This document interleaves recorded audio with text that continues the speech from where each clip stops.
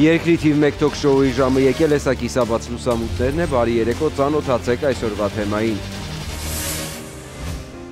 Ազնիվն ու Կամոն իրար հանդիպելով հասկացան, որ չնայած 30 տարվա տարիքային տարբերությանը կարող են միմյանց երջանկացնել։ Ծնողներս համաձայն չէին մեր ամուսնության, որովհետև Կամոն տարիքային շատ էր մեծ 30 տարի,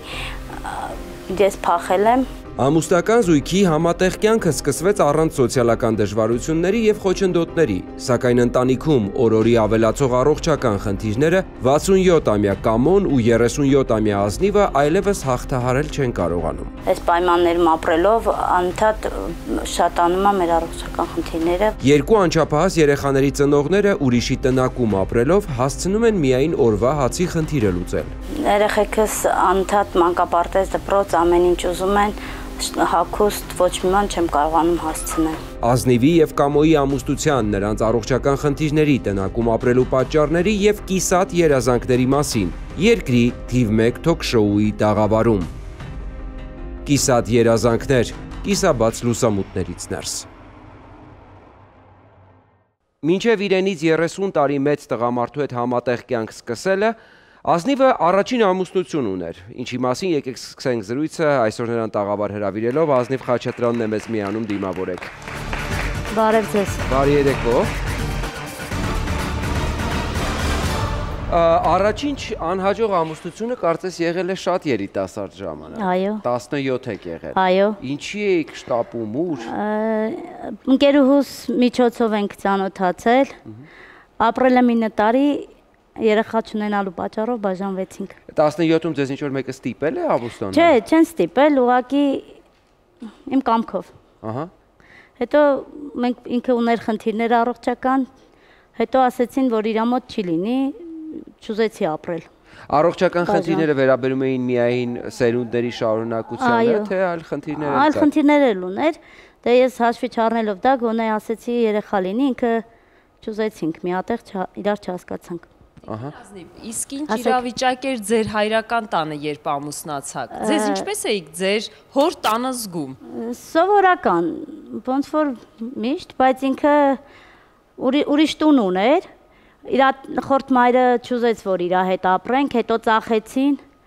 իր աստորագրությունն էլ հաշվի չառան ու իրան ոչ մի բան չհասավ։ Բայց ի սկզբանե դուք ձեր առաջին ամուսնու հետ ձեր մայրական հայրական տանն եք ապրել։ Ինքը իրան պահելա իր դասընկերոջ մաման, իրանք ապրում էին հանրակացարանում։ Ինձ ուզեցին տանեն, իրանք երեք տղաներ կային այնտեղ տանը, մայրներ չուզեցի միասին, մայրս չթողեց։ Տիկին Ազնիվ, իսկ սիրել եք ձեր ամուսնուն, առաջին ամուսնուն։ Ինչպես։ Սիրել եք ձեր ամուսնուն։ Որ ասեմ, սիրել եմ, չէ։ Ասեցին հետո է ասերը լինում, բայց չկարողացանք միասին։ Ով էր ասողը, քանի տարվա փորձ ունեցող էր։ Դե չգիտեմ, ընկերուհիս ասեց ինքը շատ լավ, նա աշխատող, խելացի տղա է,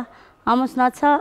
իրար չհասկացան։ տարեկան աղջիկա համար առաջին հերթին այդ սերը, այդ ռոմանտիկ վիճակները պիտի գրավիչ լինի։ Ես հիմա մտովի գիտեք խոսում եք եւ պատկերացնում եմ աղջիկը 17 տարեկան է չափազանց շուտ, այսինքն երեխա է։ Ձեր մայրիկի հետ էլ զրույց ունեցանք, Տիկին Հասմիկ Պողոսյանն է հիշել այդ օրերը։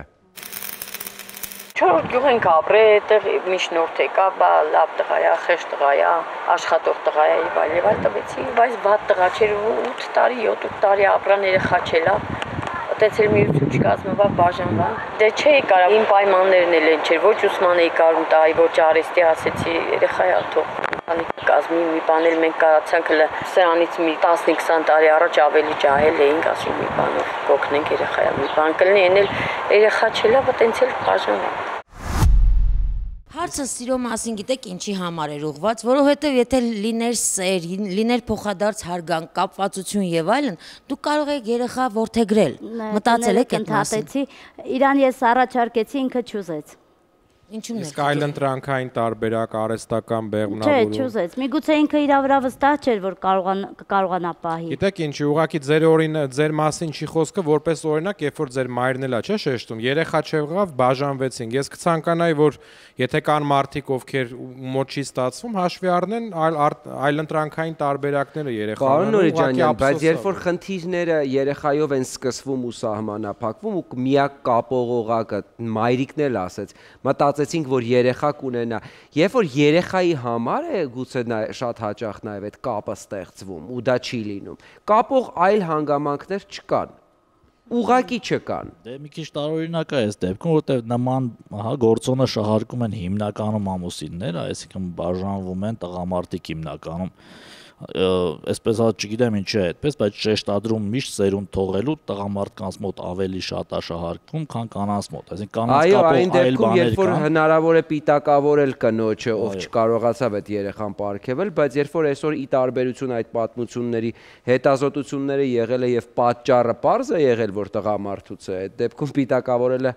շատ ավելի դժվար է դառնում։ Մի բան է նկատենք պարոն Ուրիջանյանի խոսքին իբրևի պատասխան հանրակացարանային պայմաններում եւ ապա մեծ ընտանիքներում ապրող մարդկանց համար այլ ընտրանքային հղիության պլանավորման ձևերից օգտվելը շատ անմաչելի է։ Ես մի դեպք մեջ բերեմ, կինը 29 տարի աշխատել է, որpիսի կուտակի գումար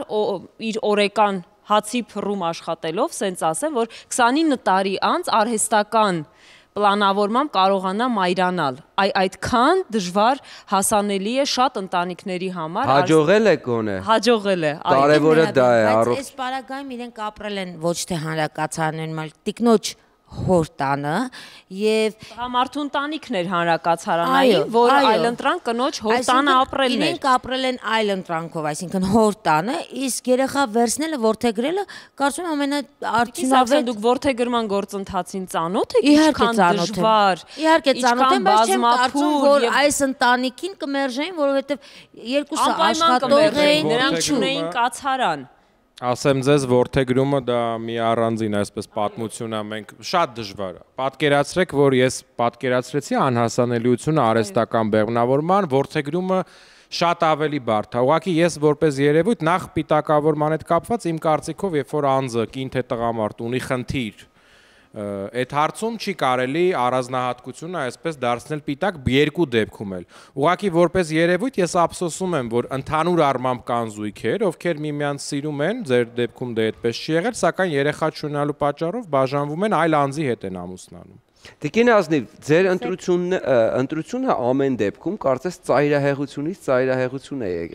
եղել եւ Բայց պատկերացրեք, Իրան ավելի շատ եմ սիրել, քան առաջին ամուսնուս։ Եկեք չպատկերացնեմ, դուք ինձ պատմեք, հա։ Երևի թե տարիքս հասուն էր արդեն, ինչ որ բան գիտակցում էի երկրորդ ամուսնու ժամանակ։ Հասունություն ուզում է տիկին ազնիվ, ճիշտ եք նկատում։ Ոնց է եղել երկրորդի ընտրությունը։ Ոնց է եղել։ Դե ես սովորում էի համակարգիչ, շրջանային եմ սովորել, հետո դուրս ենք եկել, հանդիպել եմ, սուրճ ենք խմել։ Ճիշտ ասած ինքը առաջարկեց, ասի իմ ծնողները դեմ կլինեն, տարիքային շատ մեծ է։ 30 տարի արդեն տեսանյութում լսեցինք այդ մասին։ Այո, 67 տարեկան է բայց հաշվի չառնելով տարիքը շատ սիրեցի, չգիտեմ ոնց ստացվեց։ Մերոնք չէին ուզում։ Հետո ինչ տարիքը։ Հա, շատ լավն է, ինքը շատ բարի, շատ համար է այդ հարցը։ Կարծրատիպ բոլորի, ես այսպես մի քիչ ռետորական եմ ասում, որովհետև կարող էր հակառակը լիներ։ Դուք լինեիք 30 տարի մեծ ձեր տղամարդուց, կարող էր ամեն դեպքում, եթե չկան հատուկ առողջության համար հակացություններ, մնացածը պիտակներ, կարծրատիպեր են աղբանոցի համար։ Բայց ես ամեն դեպքում ուզում եմ հարց ուղղել, այս ձեր այս դրական նոտան մի փոքր խեղաթյուրեմ։ Արդյոք դուք համոզված չէի, չէի կասկածում, որ կարող է այդ տարիքում վերարտադրողական ֆունկցիայի որևէ խնդիր էլի լիներ ու դուք նորից երեխաներ չունենայիք։ Չէ՞ որ դրա համար էիք առաջի ամուսնուց բաժանվել։ Չէ, չեմ կարծել, ճիշտ։ Որտեվ սիրել Մտքիցս, հա, մտքիցս չի մանուկյան։ Ինչքան էր անցել առաջին ամուսնությունից, որ մտքից 2 տարի։ Երկու երկու տարվա ընթացքում երեխայի հանգամանքը այդ այդ այդ արագության մոռացաք։ Չէ, չեմ մոռացել, բայց իր մեջ խնդիրներ չեմ տեսել, որ կարողա չլինեն երեխա։ Իր մեջ չեմ տեսել տենց խնդիր։ Որ տարիքում է ամուսնացել, ինքը որ տարիքում եք ամուսնացել երկրորդ անգամ։ Երկրորդ անգամ 25 տարեկան եմ ամուսնացել։ Ինքն էլ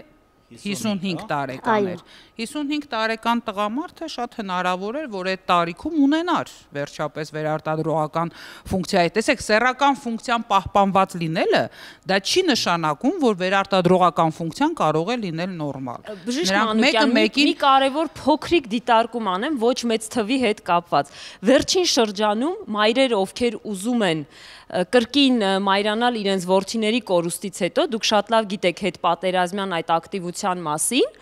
այն տարիքը, որը մենք հիմա քննարկում ենք, հայրերի մեծամասնության մոտ է։ Եվ ռեպրոդուկտոլոգները զարմացած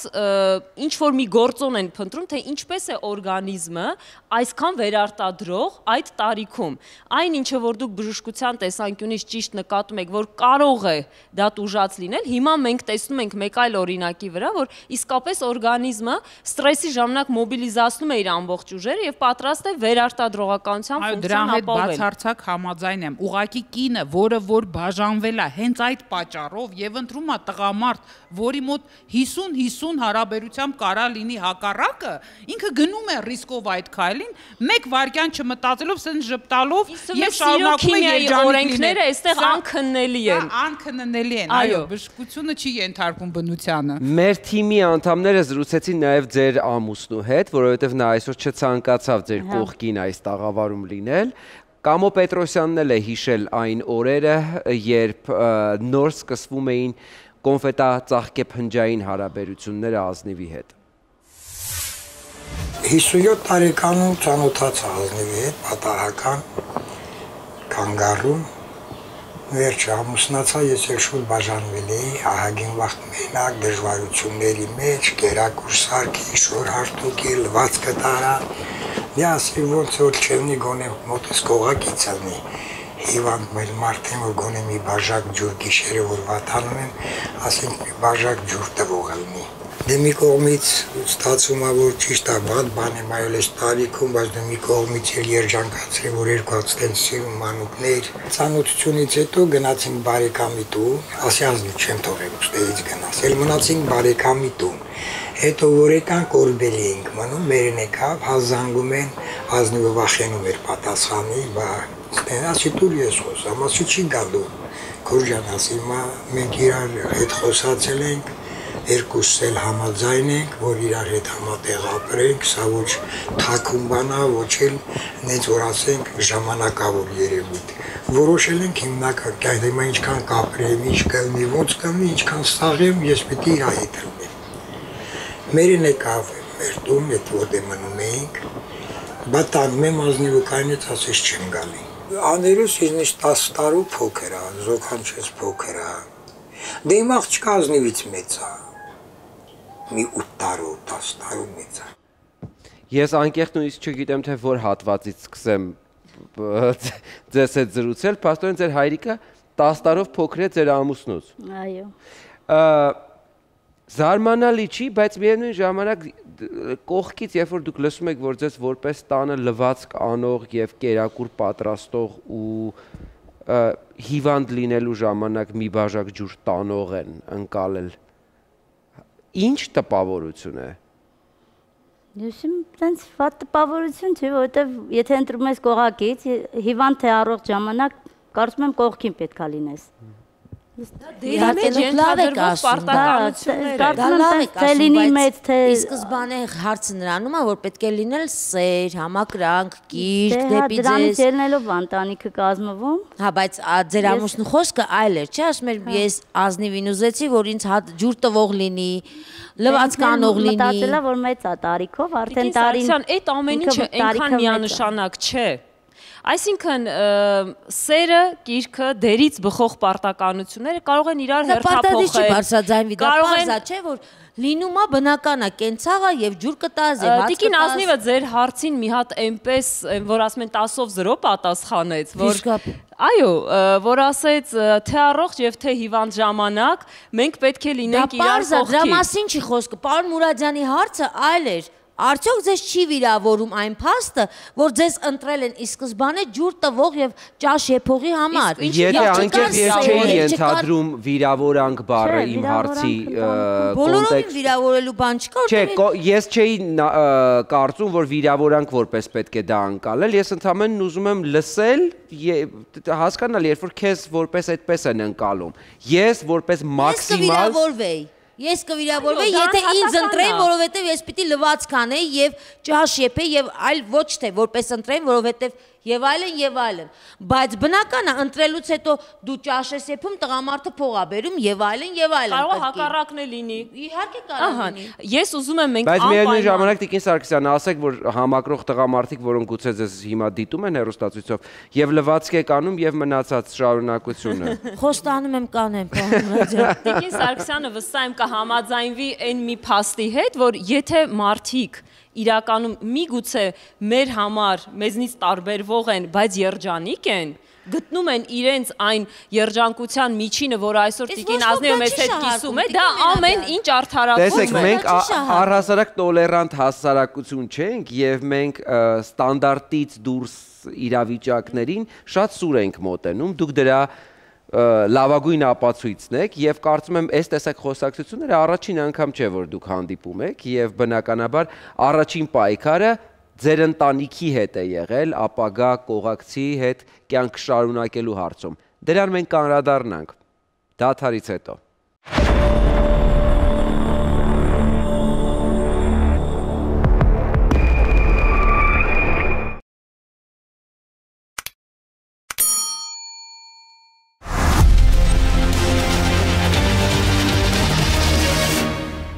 Ազնիվը կանգնած էր կանգառում, երբ նրան առաջին անգամ տեսավ իրենից 30 տարի մեծ ապագա ամուսինը։ Ազնիվը այսօր կիսաբաց լուսամուտների տաղավարում է։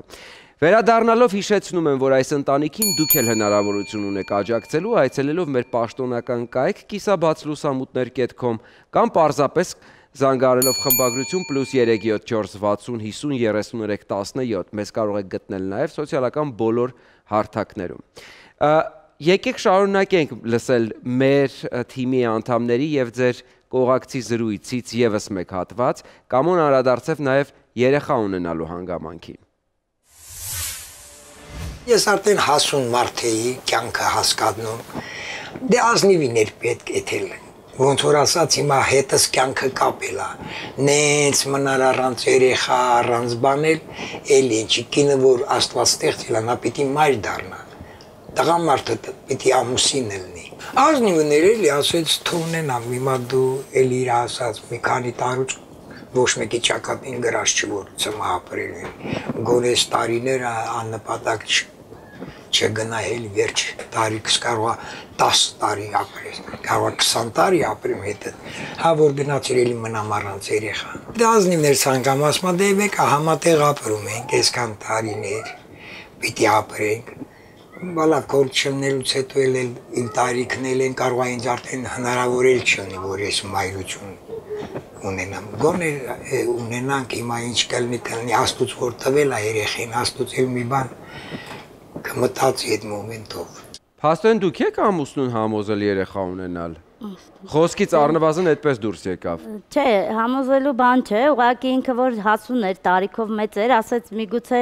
հետո քեզ դժվար կլինի մենակ պահելը, կարող մնաս մենակ, հետո դժվարանաս, ես Մենակ նկատի ունի տարիքային իր Այս աշխարհից հեռանալուց հետո տարիքի պատճառով։ Այո։ Դուք վստահ էիք ձեր որոշման մեջ, որ դուք երեխաներ եք ուզում, որովհետև առաջին տեսանյութի մեջ արդեն པարզ դարձավ, որ դուք երկու երեխայի ծնող եք դարձել։ Այո Ձեր ամուսինը թորներ ունի։ Այո։ Թորները մեծ են, ոնց հասկանում եմ ձեր երեխաներից։ Իր աղջիկը 42 տարեկան է։ Ահա, ձեզանից էլ է մեծ, այո։ Ունեն ունի թորնիկներ, բայց շփում չունի ոչ մեկի հետ։ Կապեր չկա, տալիս հետ ունեմ շփումներ, կիսուրս կա, կապանում են ապրում Այսինքն ձեր ամուսնու այդ ռացիոնալ մտածելակերպի ի հակառակ ձեր այդ ցանկությունն ու զգացմունքային մտածելակերպը այսպես, հա, ավելի դերը մեծացավ ու դուք որոշեցիք վեր, վերջի վերջո երեխա ունենալ, թե պատահական ստացվեց։ Չէ, ուզում էի։ Չէ, ամուսինը վերջ համոզեցիք, թե ստացվեց այդպես։ Չէ, չեմ կարծում, իր տեղը չեմ կարող պատասխանեմ, ինքը համոզվեց, թե ինքն էլ էր ուզում։ Այդ մասը իր։ Աջան։ Ձեզ հետաքրքիր չէր վերջում ուզում աչի։ Արդյունքում ստացային ինչ որ ուզում էի, շատ էի ուզում։ Առաջինը չի եղել։ Իմ կարծիքով երազանքով սպասում էի։ Հա, ձեր ընտանիքի մոդելը, ասենց ասեմ, շատ ողջունելի, օրինական, շատ լավն է։ Ուղղակի դուք իմ կարծիքով նաև չպետքա զարմանաք որոշակի ռեակցիաներից, որովհետև հավատացեք, երբ որ երեխայի պապիկը մորական ավելի փոքր է, քան հայրը, չէ՞ դա ստանդարտ չի, այսինքն դուք պետքա համակերպվեք այն մտքեդ, որ որոշ մարդկանց մոտ դա ինչ որ զգացմունքներ է առաջացնում, չէ՞, չեմ ասում ձեզ քննադատեն կամ դատապարտեն, բայց մի փոքր զարմանք Չէ, այլ կարծիք դա եւս պետքա լսել ու սովորական։ Իսկ այդ այլ կարծիքին դուք սովոր եք կարծես, սկսած ծննդատանից։ Այո հարմարվել եմ։ Ընտրելով շրջապատի արձագանքը այնպես չի, որ շատ զգալի տարբերություն է տվել այստեղ փորձագետների տված արձագանքից, ճիշտ է։ Շատերը նույնիսկ չէին էլ հավատում, որ երեխայի հայրը հենց նա է եղել։ Այո, երկրորդ երեխուս ծննդյան վկայական հանելուց խնդիրներ եղավ, ասեց տարիքային մեծ է տարբերությունը, չենք կարող, ահագին խոսակցության մեջ։ Այսինքն անգամ մարդը ով զբաղվում է ծննդյան վկայականը գրանցելով ունի կարծրատիպեր եւ իր կյանքի փորձի մեջ նման դեպքերին պատրաստ չէ, բայց պետք է պատրաստ լինել։ Բայց ձեր հարաբերությունները գրանցված չէր մինչև դա։ Չէ, զաքսավորված չեմ, ունենք մենակ հայրության ճանաչում։ Մինչև հիմա։ Այո։ Այսինքն պարզապես կասկածում էին, որ նա կարող է հայրը լինել այդ տարիքում։ Միգուցե։ Այսինքն գնացել եք դիմում տալու, որպիսի հայրությունը ճանաչի, դիմում ընդունողը չի հա, հավատացել։ Հա, ասեց չեմ կարա, եկեք թող միայնակ գրվի, դա առաջին աղջկաս հայրություն կար ճանաչած, ուզեցի որ երկրորդն է դե- նույնը։ Դե օրինակ պարոն Նուրիջանյան ավելի, հա, ու չասեմ տրամաբանական, բայց ուղղակի զուտ երրորդ անձի համար կասկածելի չի, որ կարա կեղծիք լինի եւ ինչ որ մեկ ուզում է հայրություն ճանաչել ինչ պատճառով։ Չէ, մենք հենց այս տաղավարում հանդիպել ենք դեպքեր, որ չարաշահում են այդ հայրություն ճանաչելու ընթացակարգը, որտեվ այնտեղ միայն հայտարարություն է, այսինքն որևէ թեստ չի արվում։ Ստեղ գիտեք, հենց իմ միտքը Տիկին Մերաբյան, այդ կարծրատիպ, գիտեք, կարծրատիպը ինչ որ մի չնչին տոկոսով կարա եւ արդարացված լինի, այսինքն երբ որ մարդու մոտ դա առաջին հայացքից մի փոքր զարմանք է առաջացնում, դա նորմալ է, արդյունքում գրանցվել է, չէ՞ հայրությունը։ Այո։ Ահա, այսինքն խնդիրը լուծվել է։ Պարոն Նուրիջանյան, բայց մեր լայն լսարանի համար կարծում եմ մենք պետք է այդ վերլուծությունը այնպես մատուցենք, որ երջանիկ լինելը արդարացնում է բոլոր գործիքները։ Ժամանակ հաշվի առնելով նաև հոգեկան, ֆիզիկական, չէ՞։ Եթե չկան հակասություններ, այսօր կան երեխաներ, այսօր կան ընտանիք, այսօր կարևորը տեսեք, եթե տղամարդուց այդ միակ բանը, որ վստահ եմ բժշկական հետազոտություններ չեկանց է միջև հղիանալը։ Չէ։ Չէ, այ տեսեք վտանգը այստեղ է, որ կարելի է ընտանիք կազմել, բայց ընտանիքը պետքա պլանավորել։ Ես ուզում եմ մյուս կողմին էլ լսել, պարոն Կամոն շարունակեց այս թեման, եկեք լսենք նրա մտորումները հարցի շուրջ։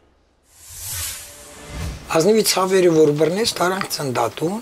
հանկարծակի։ Դե վայ ոչ միլիոն ներողություն դե կանացել ջրերս գնա շուտ հասցել։ Տարամ դե դե սպասում ենք բարեկամս էլ մեր հետ էր մնում էլի եկավ ջայելա դենա ինձնից ազնիվից թայա երևի ազնիվից էլ փոքր մի երկու տարով այնա որ արդեն ազատվեց վերևից իջան բազելով եկան է ջահելն են մոտիկանում բաշնորավորում ենք աղջկա աչքդ լույս թե ես իրա բարեկամն եմ այդ երեխու հերը ես կողից կայնացնա գնացի դազնին ասեց որ թուղթը բեր որ երեխուն դուրս գերին ալենին գնում եմ դե ասում եմ քուրս հեսա այս թղթերը թե սուտ եք ասում, դու հնարավոր չի որ քո երեխեն, այ ցավը տանեմ դրանից առաջինն էլ ունեի հենա դոկումենտը բանը ամեն ինչը կա ցնդականը Հա, վերջը ասի բան թե կնոջ դեր։ Կա նոր ազնիվին էլ եկանք, ազնիվի հետ մտանք, ցավալի կողմս, որ ինձ անհանգստացնում է, որ ասում եմ Աստված ինձ այդ կյանք կտա, որ թողոս բանակ ճամփեին կամ բանակից գա, Ճիշտ է, մի կողմից ուրախ եմ, բայց մի տեղից էլ ասում եմ, բա որ վաղը գլուխս դրի բարձիների սերեխոց ապագան ոնց հալնել։ Գործից գալիս եմ ինձ վար ոնց որսկի երեխա չինալ թորն է, որ գալի փաթաթվում են, ինչքան էլ հոգնած եմ ելնում, բան գրկելով ես ինձ փոփում եմ իմ ուրախությունը հանում եմ այդ երեխեքով։ Տեսեք, ձեր հարաբերությունների ու իրար հանդեպ ջերմության առումով ոչինչ ասել հնարավոր չէ, բայց այդ դժվարությունների առումով այստեղ մտածելու տեղիք է տալիս, չէ։ Երբ որ մենք նժարի վրա ենք դնում ու ձեզ նայում է միլիոնավոր լսարան, դուք նաև օրինակ եք ծառայում այն տեսակ մարդկանց, ովքեր գուցե նման քայլ անելու առաջ են կանգնած Միևնույն ժամանակ այն զգացմունքների առումով հարուստ հարստությունը, որը դուք ունեք, պետք չէ միայն ներկայացնել։ Կա նաև դրա հակառակ կողմը՝ սոցիալական դժվարությունները, այդ տարիքային տարբերության պարագայում, որտեղ ձեր ամուսինը ի վերջո երիտասարդ չէ եւ ծանր ֆիզիկական աշխատանքով է զբաղվում 67 ու այն միտքը, որ կդնի գլուխը բարձին նկատի ունենալով, որ անկողնային հիվանդ է դառնալու ուշ թե շուտ, չգիտեմ ինչու այդ պլաններն ունի, բայց հասկանում է կյանքը ուր է գնում եւ դա մայրամուտն է, ոչ թե արևածագը։ Այո այն դժվարությունները, այն պայմանները, որը դուք ընտրել եք ապրելու համար, խանգարում է երջանկությանը, թե թե դա էլ է մարդ մարդուց կախված։ Չէ, մարդուն բոլոր պայմաններում էլ հարմարվել եմ, սիրել եմ իրան, չեմ չեմ պատկերացրել որտեղ կլինեմ, դե դրսում հո չէի մնալու երեխեքիս հետ։ Փորձել են, էդ էլ խղճացել են, այդ դոմիկը մերը չի։ Ահա։ Պրոստը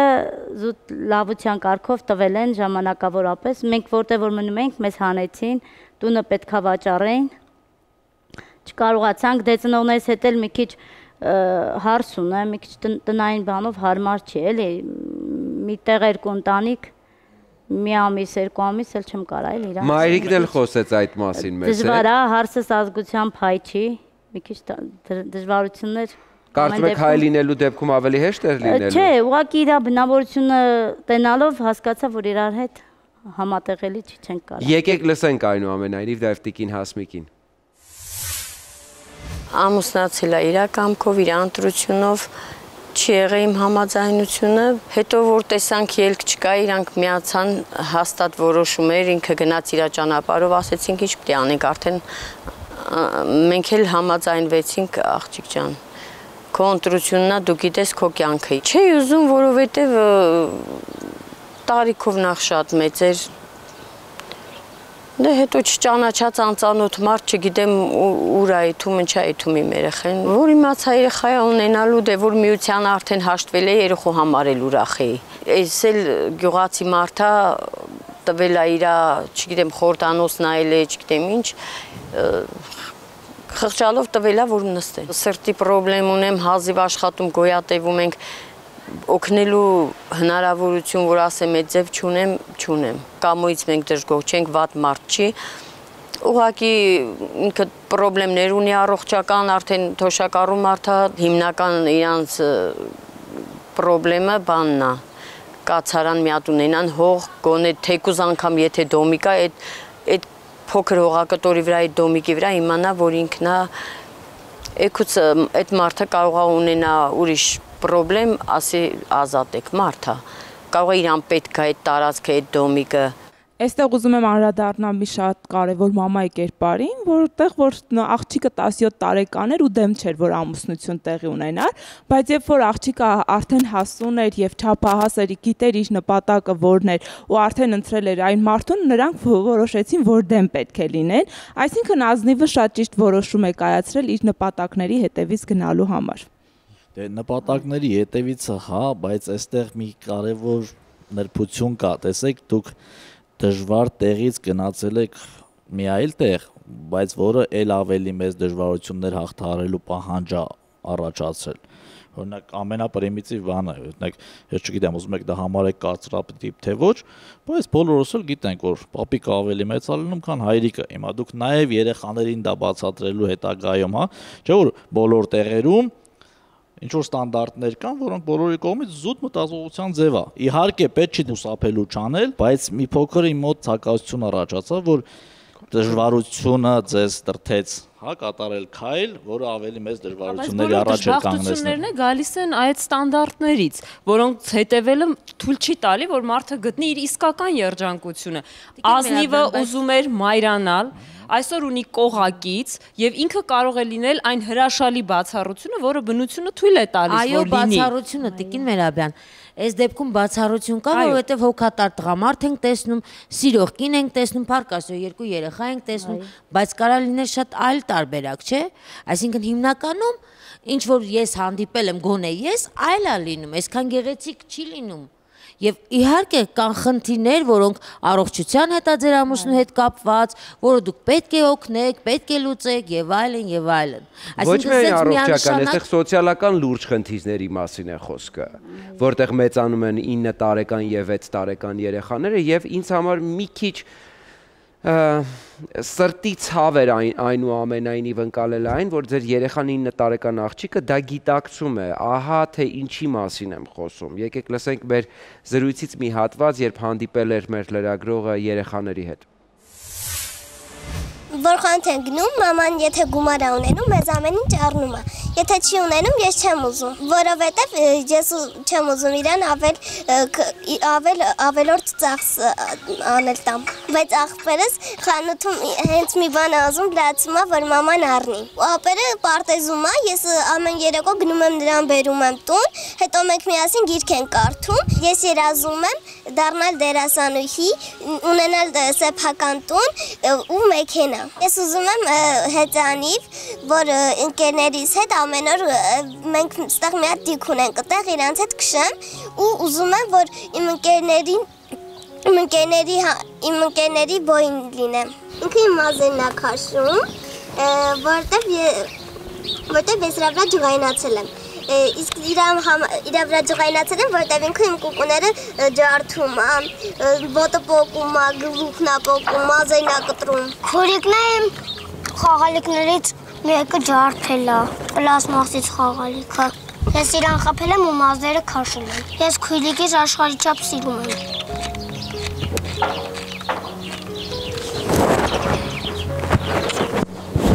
ուզում եմ սկետ ու հեծանիվ, իմ ընկերները խաղում են եւ ես ուզում եմ նրանք չեն տալիս։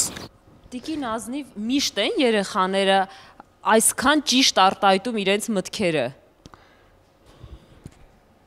Երևի թե այո, եթե տեսախցիկի արժե խելացի են, Շնորհակալ եմ Աստծուց, իդոք ունեմ ղելացի բալիկներ։ Ես մի փոքր Դուք ձեր ներդրումը ունեք, ինչ ինչ ճիշտն է, ճիշտն է, չեմ կարող չշեշտել, որ նկարահանող խումբը հատուկ ինձ անպայման տպավորություններ է ասում նկարահանման հրապարակից եւ այո հարյուրավոր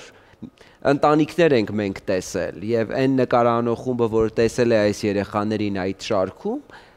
փաստում էր այդ հանգամանքը, որ երեխաները շատ դասյարակված են, շփվող են, բաց են, մտքեր կարող են արտահայտել շատ ազատ։ Պարոն Մուրադյան, միշտ ծնողներին մենք խրախուսում ենք, եթե ընտանիքի ներսում երեխաները անհաշտ են լինում, որ թույլ տվեք թող իրար հանդեպ արտահայտեն, ինչից են նեղանում, ինչպես իրենք ասեցին։ Բայց վերջում թույլ տվեք, որ իրար գրկեն ինչը դուք տեսաք, այսինքն այն թերևս կանոնները մասնագիտական, որ ընտանիքի ներսում երեխաներին միշտ փորձում ենք մենք օգնել Տիկին Ազնիվ, ձեր հասուն ընտանիքում կա, թույլ տվեք ձեր ընտանիքի մասին թերևս հետագայում գրել իբրև հասուն ընտանիքի օրինակ, որտեղ հասունությունից ծնված երեխան հասուն սիրո պտուղն է։ Բայց նույն այդ երեխան 9 տարեկան, որ գիտակցում է, որ մայրիկին չպետք է խնդրել, որովհետև չկա դրա հնարավորությունը դա հոգեբանական ճնշում չէ եւս այսինքն այդ նույն առումով երբ որ մենք խոսում ենք հոգեբանական ճնշման մասին թե աղջկան ինչպես է բացատրել թե գումար չլինելու պատճառով դուք չենք կարող սա ձեռք բերել ուղղակի դա դեռ հարց է բացատրել է թե նա է հասկացել թե հասկանում է նա տեսեք այ խոսքը դրա մասն է որ երեխան է հասկանում ոչ թե մայրիկն է բացատրել այսինքն իր առանձնահատկությունները արդեն պարոն Մուրադյան թույլ է տալիս որ խնդիրները վերլուծի եւ ինքը կարողանա գտնել իր հարցերի վերլուծությունը եւ եւ վստահ եմ, որ նաեւ մաման կողքից օգնություն ցուցաբերած կլինի, լսած կլինի առհասարակ այս նույն միջավայրում, որտեղ որ ապրում են երեխաները։ Տվյալ դեպքում շատ ճիշտ նշեցիք, որ կա որոշակի հոգեբանական խնդիր երեխաներ, բայց այս այն դեպքն է, որ գիտեք, մեր ընտանիքների 90%-ում այնպիսի խնդիրներ ու բազմատեսակ կան, որ Գոնե եթե բոլորի մոտ լինի ընդամենը այդ խնդիրը, որ երեխան հասկանալով սոցիալական վիճակը գոնե դրանից նեղվի, այլ ոչ թե ասենք անտարբերություն երեխային հանդեպ կամ երեխաներին դարձնել գործիքներ կամ երեխաների հանդեպ ոչ, հա, մարդկային վերաբերմունք, գոնե թող սա լինի չարյած փոքրագույնը, այսպես ասած, իսկ դա էլ շատ ավելի հեշտ լուծելի է, քան այն մնացած խնդիրները, որը կարան խոր տրավմաներ առաջացնել։ Այո, պարոն Մերաբյան, լուծելի, որովհետև ներողություն, որովհետև ամենակարևոր շեշտը ես տեսա այս ընտանիքում, որ եղբայրը ասեց, ես քրոջս համար գժվում եմ, ասեց, շատ եմ սիրում, ինչ որ խելագարվելու արտահայտություն էր, որը ինքը չէր սովորել կամերայի մոտ, հա, տեսախցիկի մոտ ասելու համար, ինքը տենց զգում է։ Եվ այս միությունը երկու քույր եւ եղբայր շատ ամուր է լինելու, խոսքս հիշեք հետագայում։ Ինչ պայմաններում են մեծանում այդ երեխաները եւ ինչու տանը 4 անդամներից 3-ն ունեն առողջական խնդիրներ, Փորձենք հասկանալ միասին այս տաղավարում, բայց դաթարից հետո։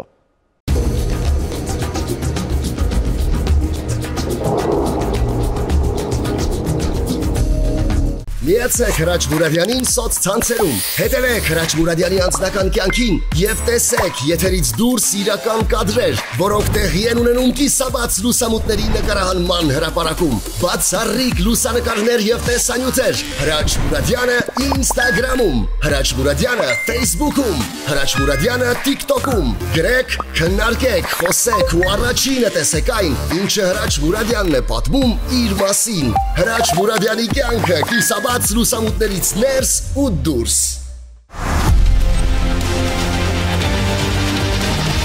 Երեսուն տարվա տարբերությունը տարիքային նույնիսկ չխանգարեց երջանկության, որը երկու երեխաների տեսքով է։ Այսօր ազնիվն է մեր տաղավարում, մենք վերադառնում ենք։ Հիշեցնում եմ ձեզ Ազնիվին եւ նրա ընտանիքի անդամներին դուք էլ հնարավորություն ունեք աջակցելու այցելելով մեր պաշտոնական կայք։ Առաջինը կարող եք կատարել առցանց նվիրատվություն կիսաբաց լուսամուտներ.com կայքում կամ այլ տեսակ օգնություններ առաջարկելու համար խնդրեմ այցե զանգարեք մեր խմբագրություն +37460 50 33 17։ Եվ տաղավար վերադառնալով եկեք տեսնենք տնակային այն պայմանները, որտեղ ապրում է 4 հոգանոց այս ընտանիքը արդեն երկու տարի է այս տնակը բարերար մարդ է օգնելա մեզ տվելա որպես իրանց պետք չի եկել մնում եմ հա ստեղ ես ու տղաս ենք քնում ամուսինս ստեղա քնում ոտեր չունի սենց հենել ենք ինքը կլորա որ կարողանանք լայն տեղը լայն մնա ոտատեղ փայտերա տակը դրված սենց աղջկա սանկողինն էլ էսա անձրևի ժամանակ որ շատ ահեղեղ լինում անձրևը կատկթում է դույլեր ենք դնում որ երեխեքի վրա անկողինները չթրջվի։ Պահարաններ չունեմ, պահարանների փոխարեն sense տոպրակներով շորերը ծալում եմ։ Տանը առնետներ, մկներ են գալիս, փիսիկներ ենք պահում, որ երեխեքին վնաս չտան, գոնե տունը չմտնեն առնետներ։ Սա ճաշասենյակն է մեր։ Այս սեղանն է, փայտա, իր երկաթներով ամրացված, էսի աթոռներն է։ Հատակը տակը բանա ժեշտը փտած է, լինոյում է ուղակի վրան արված, այս կավրալիտն էլ ես եմ գցել։ Սա էլ խոհանոցն է, շատ փոքր է, հարմարություն ջուր չկա ներսում։ Ջուրը գրովի է, էսա լվացարանա, ստեղ ամաններն եմ դասավորում, ստեղ գազն է, կանալիզացիան զասարենի ատունն է լցվում ստեղ բացվել է։ Ջուրը դրսից կրովի բերում եմ, կիպիցելնիկ ենք գցում, այնտեղ տուալետում տաշտ ենք դնում, կանալիզացիա ունենք, մենակ տուալետում լողանում ենք շատ ափսոս, որ սոցիալական պայմանները չեն բավարարում, որ ապագա զինվորը, ապագա զինվորի մայրը, որոնք ձեր երեխաներն են, մեծանան բավարար պայմաններում ու հավատացեք, սա այն դեպքերից է, որտեղ օգնությունը շատ չի լինի, որքան որ օգնեն ձեզ, դուք մենակ ավելի լավը կանեք։ Մի փոքր, որ ձեզ շրջապատեն այդ օգնությամբ, դուք կաճեք, ավելի լավ, ամեն ինչ կոկիկ, դասավորել են, չգիտեմ, մահճակալը ոց չունի ստեղծել են, բայց մի բան էլ ասեմ Տիկին Ազնիվ, տղա երեխային գոնե թող առանձին անկյունում քնի այդ իրար ծոց քնելը մեկը հակացուցված է։ Փորձում եմ սովորացնեմ, բայց Գիտեք, ամեն դեպքում մենք շատ ենք տեսնում սոցիալական վատ պայմաններ, բայց ինձ թվում է դուք ավելի կարևոր բան ունեք։ Տեսեք, երբ որ մենք քննարկում ենք սոցիալապես խոցելի խմբերի մարդկանց,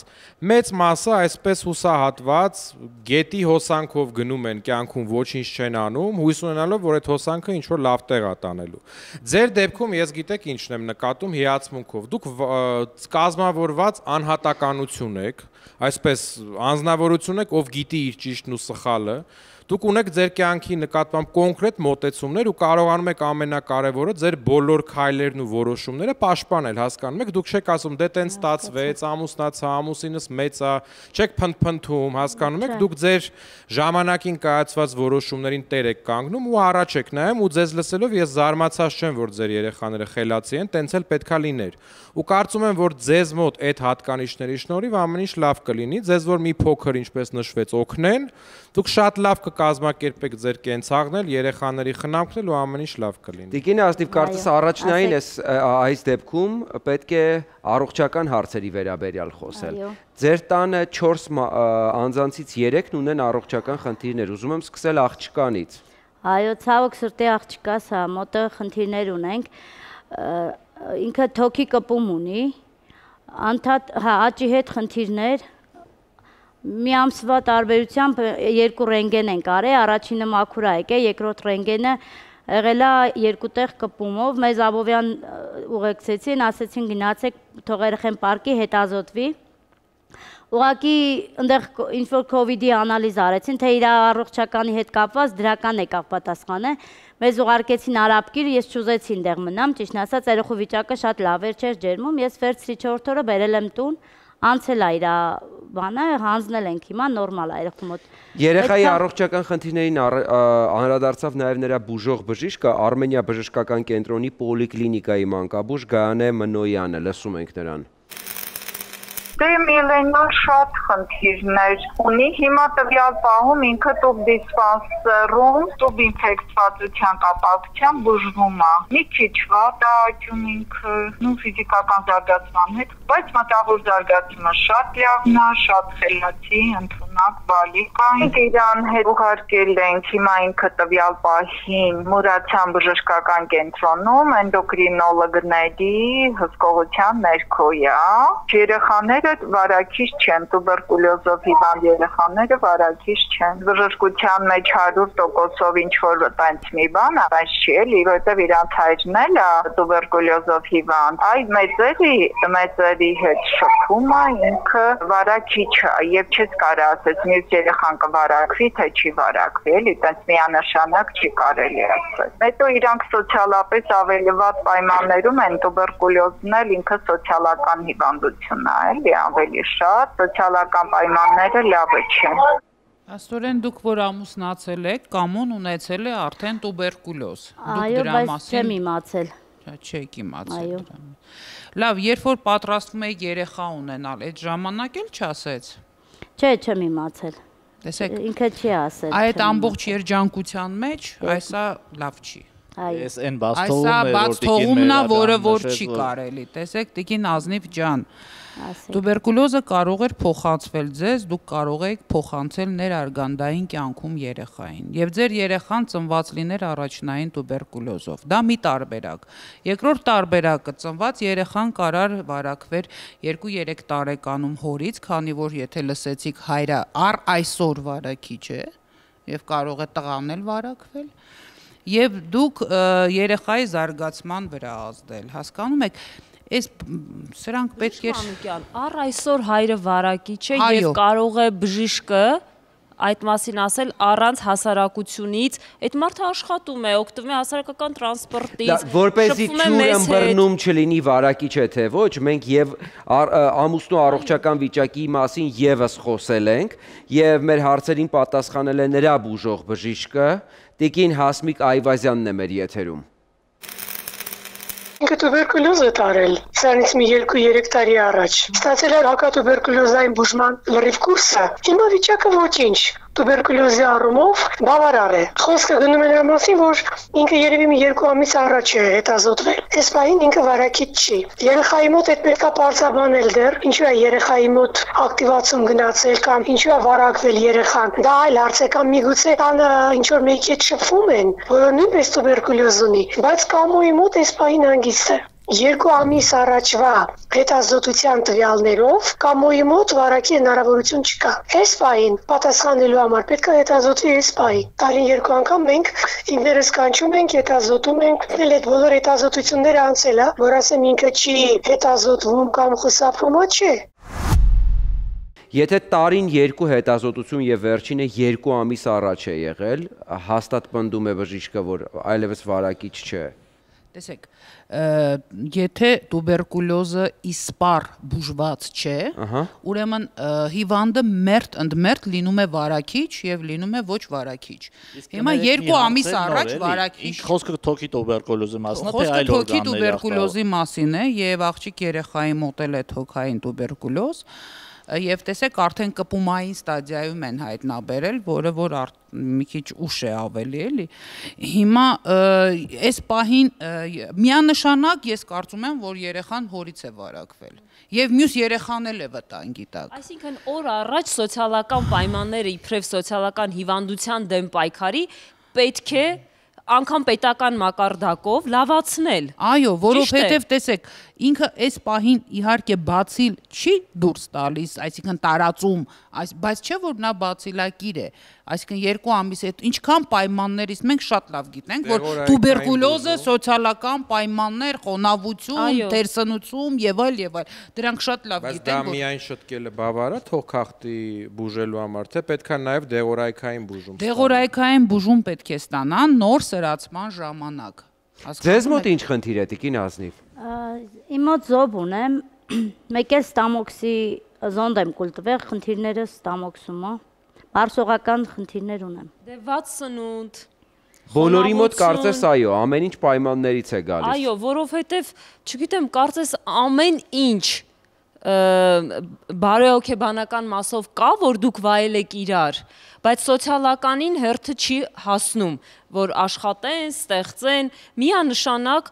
պետական հոգացության կարիք ունեցող ընտանիք է, որտեղ որ պետք է, չգիտեմ, ամբողջ ուժով ձեզ օգնել, որ երեխաները չտուժեն, հենց երեխայի գերակա շահից ելնելով։ Իսկ այդ ամենն ինչ կոչվում է, հա, խնդիրներ խանգարում են ձեզ տանը երկուսիդ էլ աշխատելու եւ ամուսնուն եւ ձեզ։ Ես իմ փորձում եմ լրացնել ամուսինս դե ծանր աշխատանք չի անում, ինքը շնչառական խնդիր է առաջացած, չի կարողանում, ինքը այն բանա էլեկտրիկա, հոսանքների եթե լինում է գնում է, եթե չէ տանն է ընդհանրապես, թե ինձ էլ տուն մաքրել, ինչ որ գործ լինում է, տենց գրանցված աշխատող չէ, ընդհանուր ինչ գործ լինում է, գնում եմ անում եմ, օրվա նպաստով եմ ապրում, մեկ էլ թոշակն է։ Միանշանակ այստեղ մեր օգնությունը բոլորի շատ կարևոր կլինի վաղը ավելի երջանիկ տեսնելու համար այս ընտանիքի կիսատ թողած երազանքները։ Եթե դուք էլ կարծում եք, որ նրանք ձեր օգնության անհրաժեշտությունն ունեն, ապա խնդրում եմ առանց հապաղելու կապվել մեզ հետ գրել մեզ կամ զանգահարել կամ կատարել արցանց նվիրատվություն։ Այսօրվա համար այսքանը, շնորհակալություն բոլորին ուշադրության համար, առողջ ու երջանիկ եղեք, կհանդիպենք ցտեսություն։